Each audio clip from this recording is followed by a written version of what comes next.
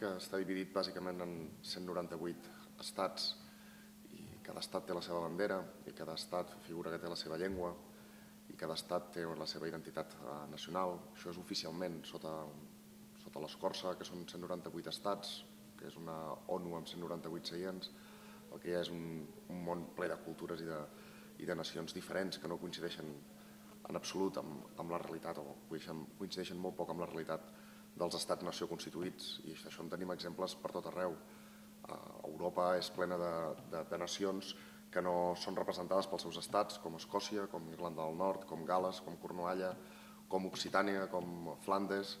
com el País Basc, com Galícia, com els països catalans. La Mediterrània també està plena de, de nacions que els hi podem dir nacions sense estat propi, que estan dividides en altres estats o que estan amagades sota la realitat d'un altre estat que sovint els nega la llengua, els la identitat els nega els drets eh, culturals més bàsics, com és el Sàhara Occidental, com és la Cabília Amaziga, com és a Palestina, o com és Kurdistan, que amb 40 milions d'habitants és el, el poble sense estat propi més, més gran del món. 40 milions de kurds amb llengua pròpia, amb història pròpia, amb institucions eh, culturals pròpies, però que no s'ha reconegut mai el dret a dir-se Kurdistan, a dir-se kurd, i com, com els kurds doncs, hi ha molts altres pobles al món que es troben a la mateixa realitat. L'estat espanyol eh, és un dels exemples d'una construcció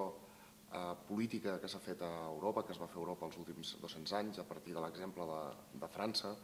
una llengua, un exèrcit, una bandera, una identitat, un estat, una capital, París, béns on tot està centralitzat, hi ha imatge i semblança de, de França, Europa es van construir diferents estats que per comptes de reconèixer la pluralitat lingüística i cultural que tenien en el seu interior i per tant eh, representar eh, l'estat, doncs, la nació, els pobles, eh, el que es va intentar fer va ser eh, construir un estat que uniformitzés la població que hi vivia dins, igual quina llengua parlés, igual quina identitat tingués, quin passat tingués, quines institucions pròpies tingués, quines voluntats democràtiques o majoritàries tinguessin a la seva població, la, la idea que imparava llavors i que, i que arriba fins als nostres dies és que uniformitzar la població, fer que tothom parli el mateix idioma, fer que tothom s'adscrigui a, a la mateixa institució central, a l'Estat, eh, fer que tothom eh, tingui una mateixa identitat nacional, eh, això era una idea de progrés, això igualava les persones i a més a més així era molt més fàcil governar sobre elles perquè, perquè ho veien totes a una mateixa institució. L'estat espanyol, el problema, eh, contrari que França, que, que sí que se'n va sortir i gairebé ha fet desaparèixer l'occità, i gairebé, gairebé ha fet desaparèixer el bretó, el basc, el català, a l'estat espanyol no se'n van sortir. I l'estat espanyol continua pervivint a dia d'avui, com a mínim podríem dir tres eh, nacions, la gallega, la basca i la catalana, que continuen eh, gaudint, mm, contra tot pronòstic, continuen gaudint d'una molt bona salut, però a més a més d'una consciència nacional, és a dir, d'una consciència de la pròpia gent que hi viu, de ser una cosa diferent i per tant, eh, segons com vagi l'actualitat política i segons què passi, eh, poder decidir compartir o no el camí amb l'estat espanyol. Bé, doncs, l'estat espanyol no sempre ha estat eh, un estat com el coneixem ara i la nació catalana no sempre ha estat eh, bàsicament unes quantes províncies de l'estat espanyol, sinó que fa molt temps eh, a l'estat espanyol hi havia diferents regnes, un dels quals era el regne d'Aragó, eh, que va començar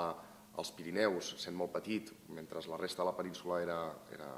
islam, era, estava eh, ocupada pels, pels musulmans, però més endavant va anar baixant i València, les Illes Balears, Aragó i el Principat de Catalunya, amb Barcelona com a capital, van conformar el que després vam conèixer com la, Catala, la corona catalano-aragonesa o el Regne d'Aragó,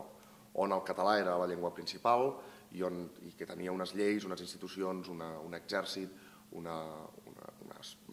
símbols propis que van conformar la identitat del que avui coneixem com, com identitat catalana i llengua catalana. Per això, per aquest regne, és la raó per la qual es parla català a València, a les, a les Illes, al Principat, a la Franja d'Aragó i al sud eh, de l'actual França, que nosaltres eh, anomenem Catalunya Nord. L'últim rei català va morir sense fills, això va ser aprofitat per Castella, el que avui coneixem com Espanya, va, va aprofitar aquesta ocasió per, per, per quedar-se amb, el, amb el Regne d'Aragó i mica en mica anar imposant les seves lleis, eh, el seu idioma com a idioma oficial, eh, la seva, els seus impostos, la seva policia, el seu, el seu exèrcit, però es van continuar mantenint bàsicament dues estructures diferents, eh, Castella i la Corona d'Aragó, fins que uns quants segles més tard, cap a l'any 1705, va morir el rei de Castella també sense descendència. I a Europa, les diferents potències europees van veure en aquesta ocasió l'ocasió per intentar disputar-se qui succeïa al tron al rei de Castella, que era una, una potència mundial llavors a, a Espanya, Castella, i eh, es va produir una guerra que bàsicament va tornar a enfrontar Castella amb la corona d'Aragó. Allò és conegut com la guerra de successió i va acabar amb la derrota de la, de la corona catalana-aragonesa, és a dir, del que ara són els països catalans, i bàsicament va acabar amb la prohibició de la llengua, amb la prohibició de les institucions pròpies, amb la prohibició de les lleis pròpies del, i, de, i del dret propi, i per tant amb l'anul·lació de la identitat eh, catalana, que malgrat eh, semblava que havia de desaparèixer,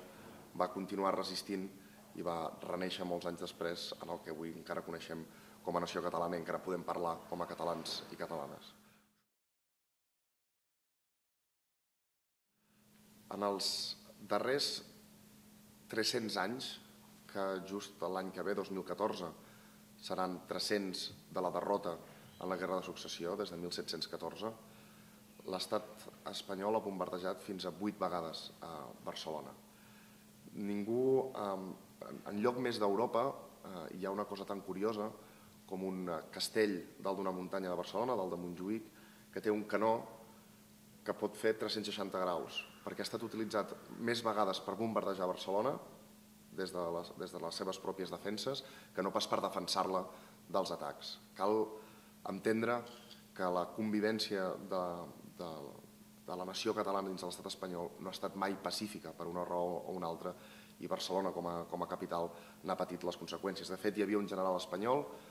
Espartero, considerat progressista pels espanyols, que va dir aquella famosa frase que para mantener Cataluña dentro de España es necesario bombardear Barcelona al menos una vez cada 50 años. I ara, just és la primera vegada que fa més de 50 anys que no es bombardeja Barcelona. Recordem que l'última vegada van ser als anys 30 que va, ser, va tornar a ser bombardejada i ocupada Catalunya i, i Barcelona. Really? 30 anys més tard, eh, l'esgotament de l'estat de, la, de les autonomies eh, és més que evident. Ni, ni els bascos estan satisfets dins de l'estat espanyol, ni els catalans ens sentim representants de l'estat espanyol, i cada vegada és més majoritari el sentiment de si vivim en democràcia, si Europa és democràtica, si bàsicament l'estat espanyol també és democràtic, per què no hem de poder decidir que ens constituïm en projecte eh, propi, en estat propi, i per tant amb les nostres pròpies institucions i per decidir les nostres pròpies coses. Aquesta qüestió, que és una qüestió absolutament democràtica, a l'estat espanyol li suposa un mal de cap enorme. Li suposa un mal de cap enorme, entre altres coses, perquè eh, la seva idea de nació inclou els que s'hi volen incloure i els que no s'hi volen incloure. I per tant, si algun dels que no s'hi volen incloure vol marxar, la seva idea de nació es trenca. I aquest és un, és un fet que eh, incapacita bastant l'estat espanyol per entendre, l'ha incapacitat sempre per entendre la pluralitat nacional dins de les seves pròpies eh, fronteres i entendre-ho com un fet positiu. És a dir, el fet que a l'estat espanyol s'hi parlin sis llengües diferents hauria de ser entès per l'estat espanyol com una riquesa i no com un problema com és vist uh, actualment. Really? Però va més enllà. La crisi econòmica també ha portat a, a la reflexió de que el projecte econòmic de l'estat espanyol no agrada majoritàriament als catalans, no ens agrada com han, han, han desplegat la bombolla immobiliària, no ens agrada en què s'han gastat els diners públics, no ens agrada que estiguin alimentant permanentment un exèrcit que és bàsicament un exèrcit que en democràcia no hauria d'existir, i eh, la constatació també de que eh, a l'estat espanyol li interessa molt tenir Catalunya dins de les seves fronteres perquè de Catalunya en treu molts impostos que gasten aquestes coses i després no torna eh, als catalans. I tot això és un sum, una, un, una suma de, de raons que han fet que cada vegada sigui més majoritari el, el sentiment entre els catalans de que hem de poder decidir pel nostre compte el que, el que volem ser i prendre les nostres pròpies eh, decisions. I això, malauradament, dins de l'estat espanyol significa que existeix un conflicte polític i que haurem de guanyar per la, per la força de la gent i, per tant, per la, per la suma de voluntats per aconseguir majories democràtiques que ens permetin més d'hora que tard eh, decidir lliurement formar part o no de l'estat espanyol. Els països catalans, a Catalunya, la idea de que mm, defensar la llengua catalana, defensar l'autogovern dels catalans havia d'anar sempre associada a la idea de més democràcia, de més justícia social, és una idea que els darrers 100 anys ha anat sempre unida. Als anys 30,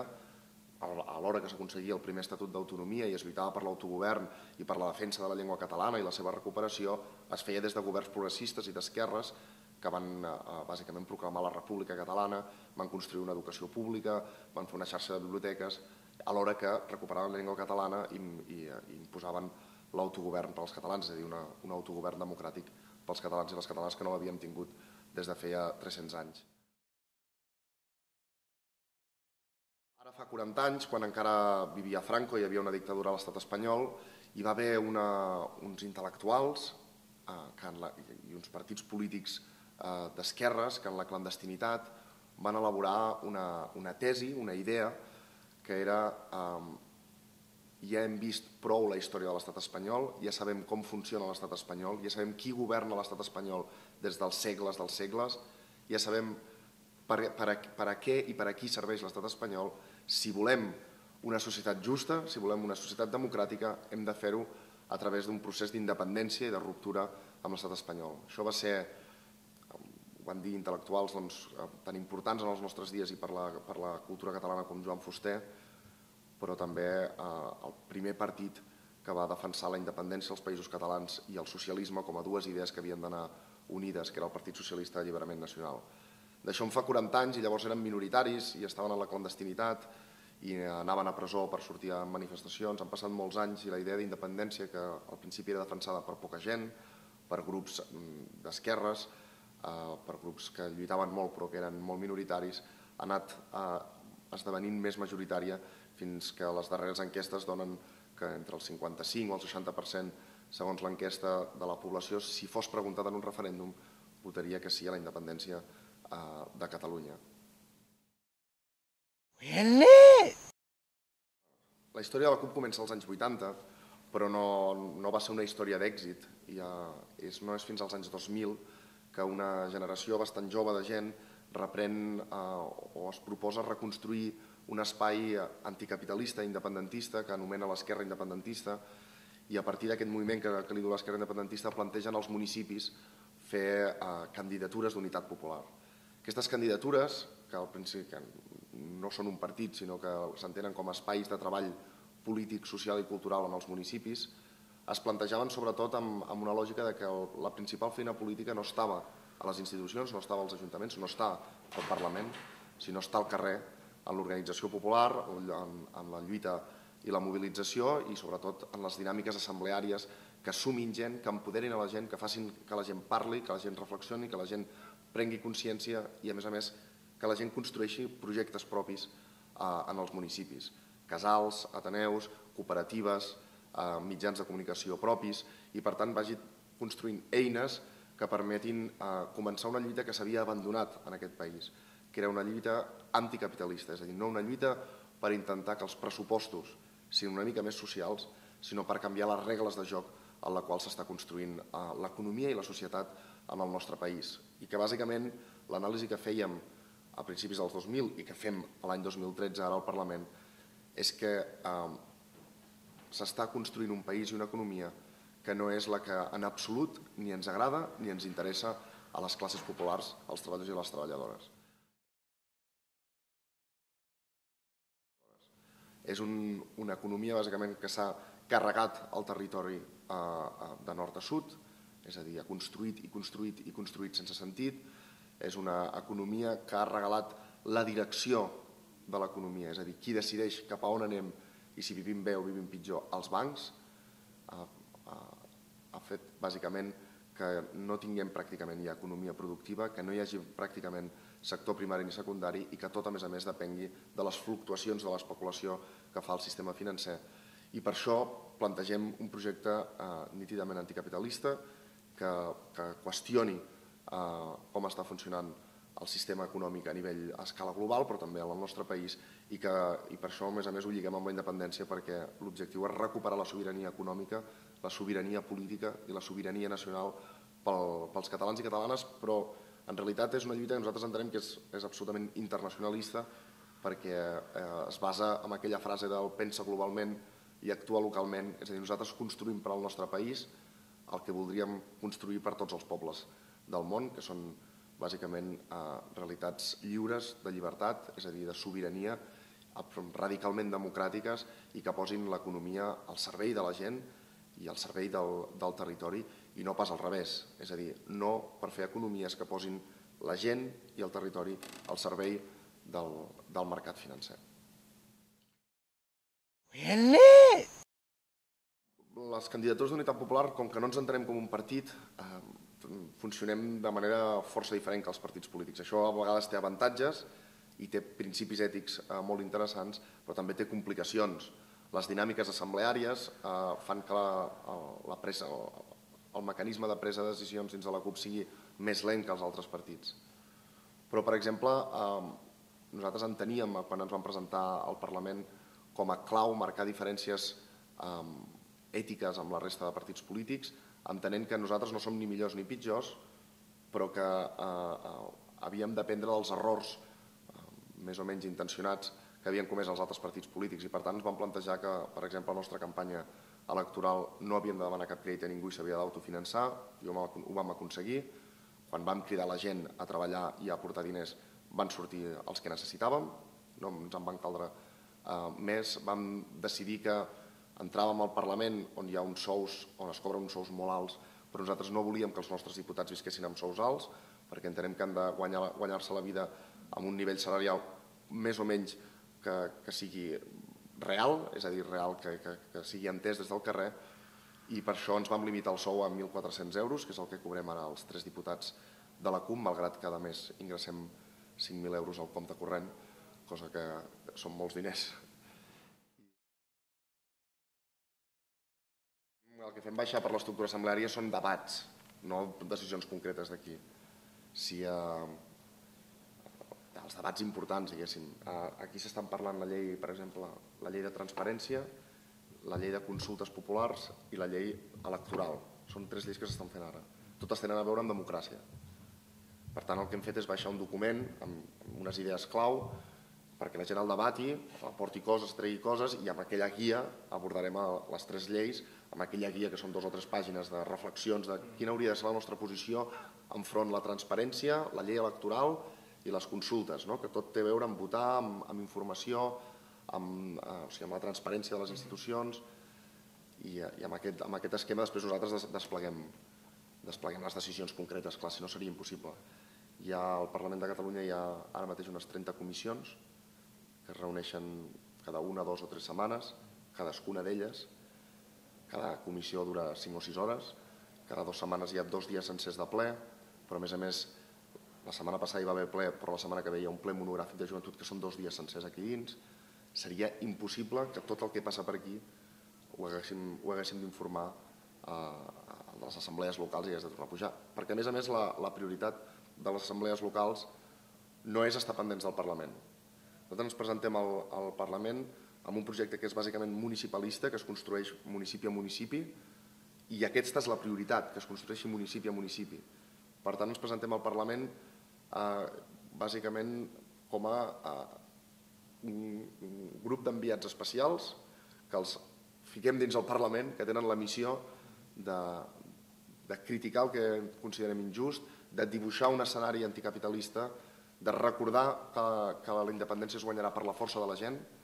i, eh, i, i segurament sense l'acord de l'estat espanyol, és a dir, per marcar una sèrie de pautes claus, però sense haver de fer que tota l'organització estigui pendent de,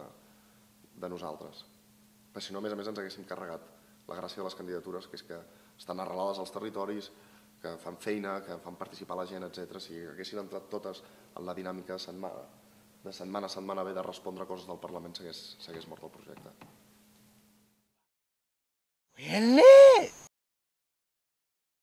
Per entendre la política el més important òbviament és conèixer els partits polítics i la gent que està asseguda aquí, però sobretot és important conèixer qui no està assegut aquí i pren les decisions. I de quina manera aquesta gent que no està asseguda aquí i que tenen interessos econòmics, interessos financers, interessos eh, eh, de construcció, interessos immobiliaris, que no està aquí però que decideix molt com aconsegueix fer, eh, fer que els polítics d'aquí votin el que ells volen. I això es fa mitjançant un mecanisme que es diu corrupció, que es diu sobres amb diners, que es diu finançament il·legal de partits i que en aquest ple, lamentablement, també està molt present. Hi ha uns quants diputats imputats, però n'hi ha uns quants més que segurament ho seran els propers mesos i això fa que aquest Parlament sigui menys lliure i menys capaç de votar el que realment interessa a la gent, perquè hi ha molta gent amb altres interessos eh, que no seuen en aquest Parlament, però que tenen els mecanismes per obligar la gent que en aquest Parlament a votar el que ells volen. Això, entendre la política, és entendre sobretot qui no està assegut aquí i en canvi decideix el que la gent vota aquí.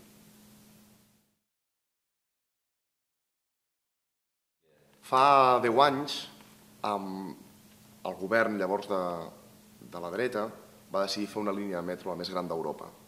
i va fer un projecte que estava valorat en 2.800 milions d'euros. I el va treure a concurs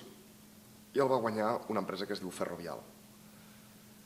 Ara s'ha sabut que aquest partit que va encarregar aquestes obres i aquesta línia nou del metro s'ha sabut, o en tot cas el jutge creu que hi ha indicis clars de que va pagar en aquest partit 5 milions d'euros en negre és a dir, finançament il·legal del partit. Fins aquí, un cas més de corrupció. Passa que la línia del metro, uns pocs anys després, va canviar el govern, va tornar a analitzar el projecte i va dir ui, això no val 2.800 milions d'euros, això com a mínim costarà 4.500 milions d'euros. Que a més a més, com que no els tenim i els hem de demanar als bancs, i Ferrovial també ens en presta, eh, el cost total serà entre 7 i 8.000 milions d'euros. Havíem passat de 2.800 a 7 o 8.000. Però mentrestant es va continuar construint aquesta línia nou del metro, que està tancada, està acabada però està tancada, i eh, va arribar la crisi. I amb la crisi la Generalitat, el govern, ja no va poder pagar els terminis que havien acordat amb Ferrovial i amb, la, i amb els bancs per, per fer aquesta línia nou del metro. I, eh, i per tant han hagut de refinançar tot el deute, fins al punt que ara el seu cost és, és de 17.000 milions d'euros. Però com que no s'estan pagant els terminis acordats de, quan re, refinançats després de començar la crisi, el cost que es calcula que pot arribar a tenir en un futur de l'obra més tot el cost financer dels diners prestats és al voltant de 22.000 milions d'euros.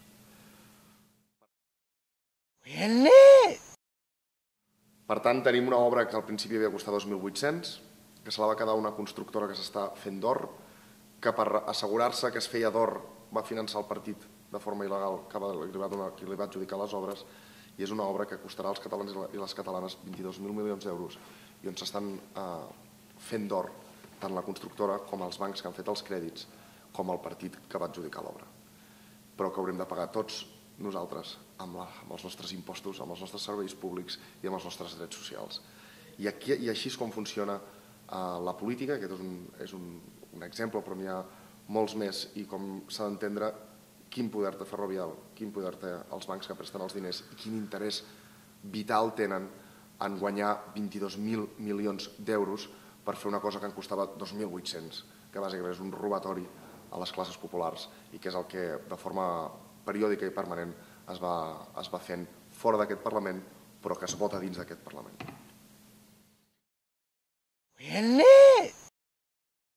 De nacionalismes al món n'hi ha de molts tipus i el nacionalisme eh, s'ha associat moltes vegades també a coses molt negatives. Hi ha el nacionalisme de dretes, eh, que Europa doncs, ha fet eh, estralls, i hi ha el nacionalisme d'esquerres, que és el nacionalisme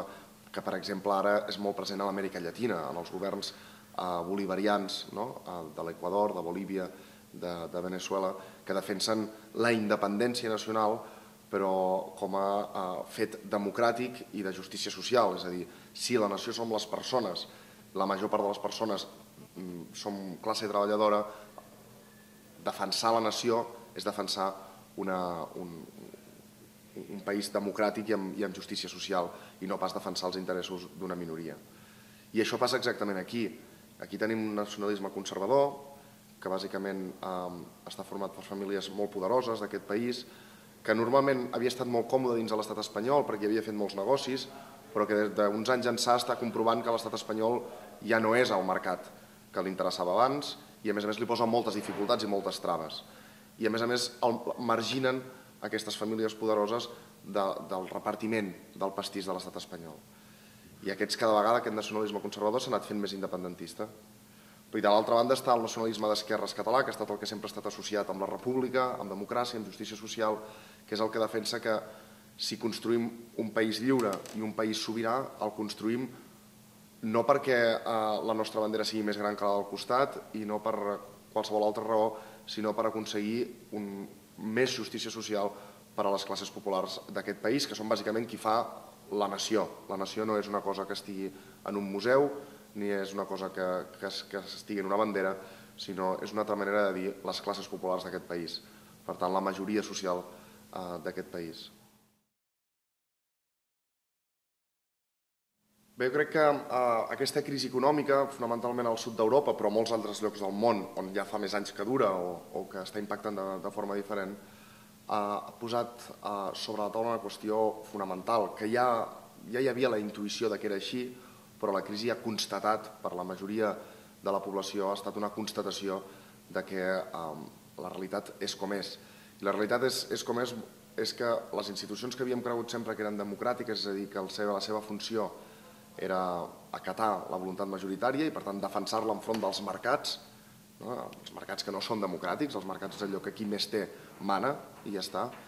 um, doncs les institucions hi eren per defensar la voluntat majoritària enfront dels mercats en canvi, aquesta crisi ha demostrat que les institucions no hi són per això, les institucions democràtiques.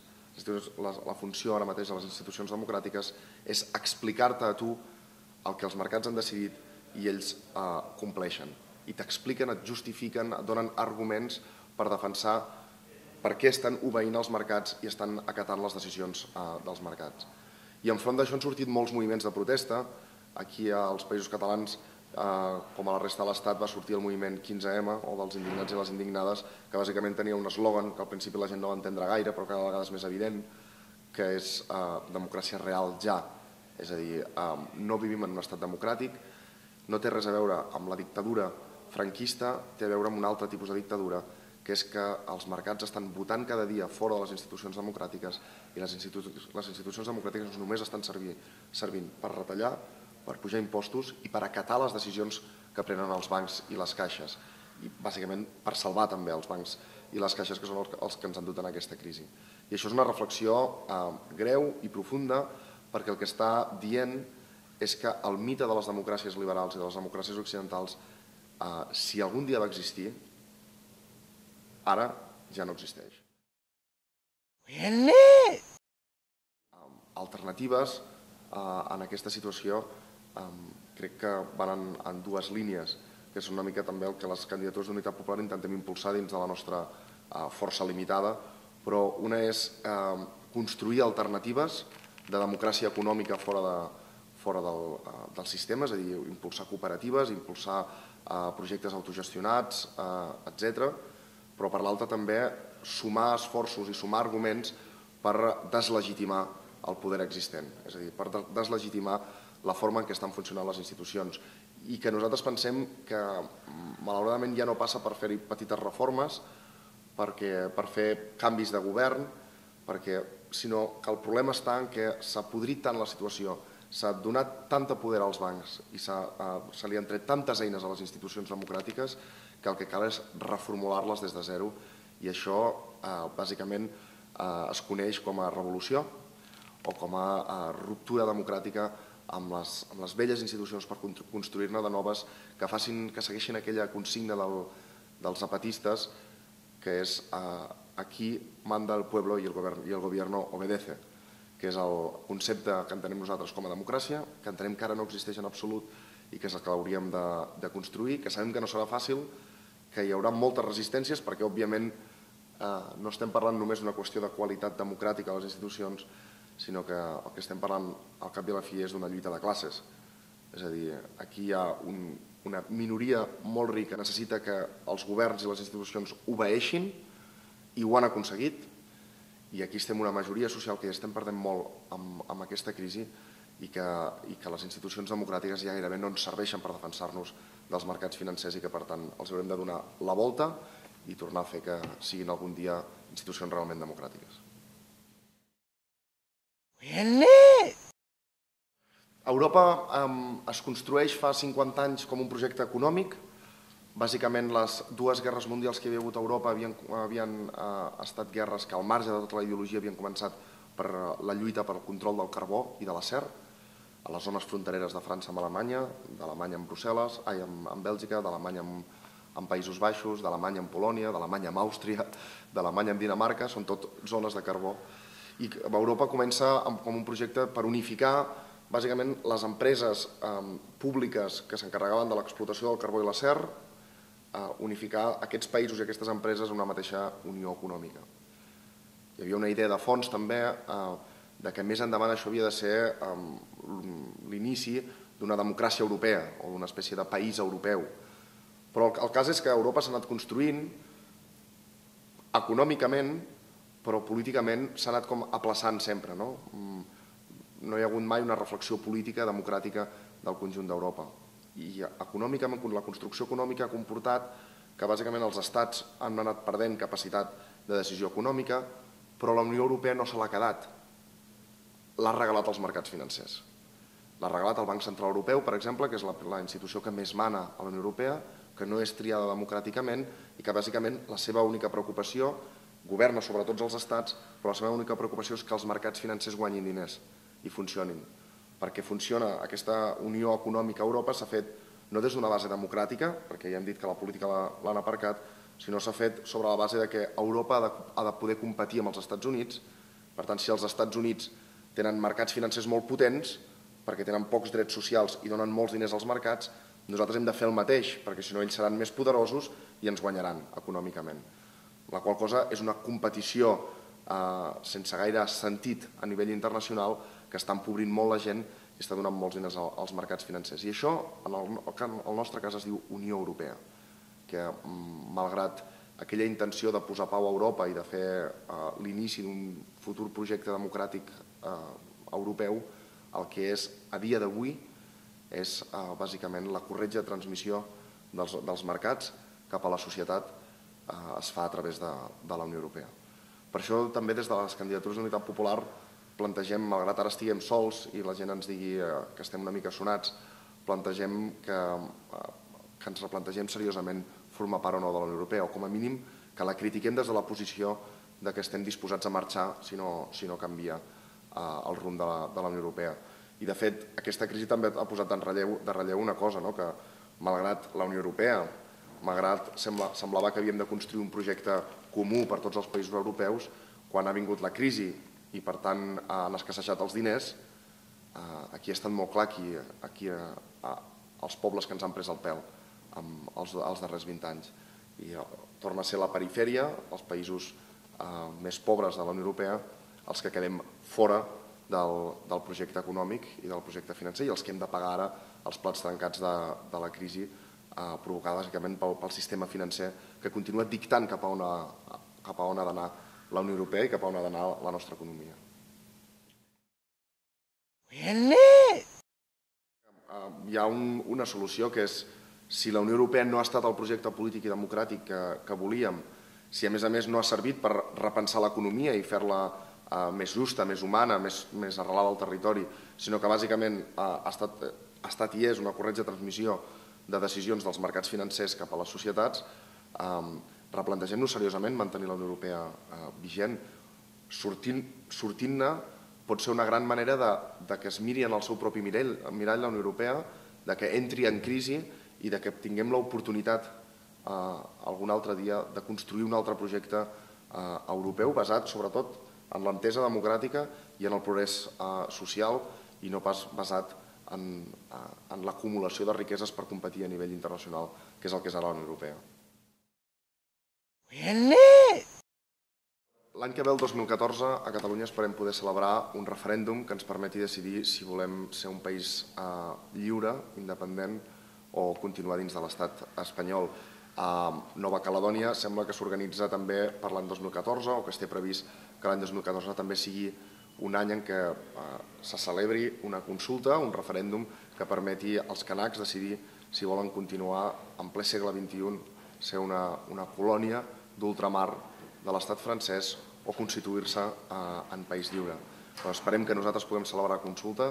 esperem que la puguem guanyar, però esperem també que els canacs eh, aconsegueixin d'una vegada per totes independitzar-se de, de França i ser una nació lliure i sobirana del món, com ho puguin ser els països catalans en un futur.